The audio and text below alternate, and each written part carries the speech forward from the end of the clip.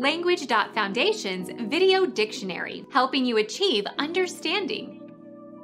The characteristic bodily form of a mature organism.